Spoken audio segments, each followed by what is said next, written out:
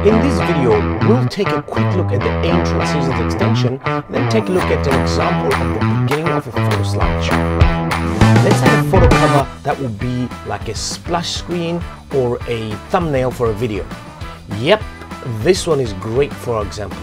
Now let's import this template. Once the template has been imported, we can now substitute our photo in the placeholder. This is really easy to do with the built-in functionality called Placeholders Replacer. Just click on the Run Automatic Replacer button and select a photo in the window that appears. Great! The photo was framed. Okay, let's keep going. Now add two photos to our composition. Now we can use the built-in functionality to create a slide sequence. For example, let's make the duration of each of these slides two seconds. Okay, our sequence is ready.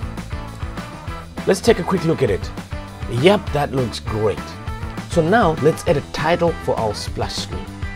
We can select the necessary title from the typography section. Yep, this one is great for our example. Let's import this into the project. Okay, the composition is open and now we can change the text. Just open the edit form and click on the load button.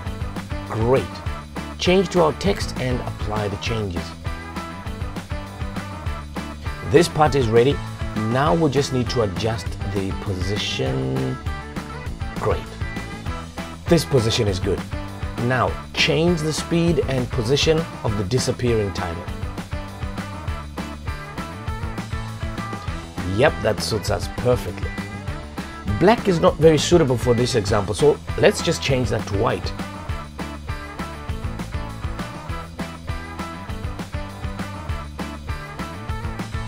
And as you can see it's just a few clicks.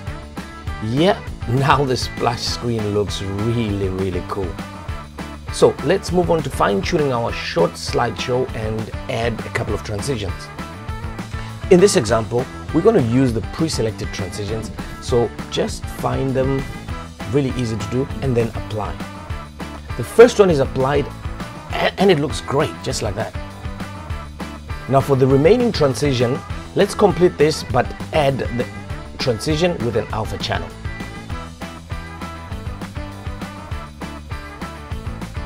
Great, the whole process is now complete. And now is the time to check out the result and take a look at what we've created. So although this is a quick example, it really looks great and so easy to put together. So in this video, we've shown the general purpose and a little bit of detail for each of the sections that you can find in the separate detailed video tutorials. So go ahead and check out the rest of the tutorials. You'll be a master in no time at all. Thanks for watching. Please don't forget to subscribe to our channel for all the latest updates on new products and offers.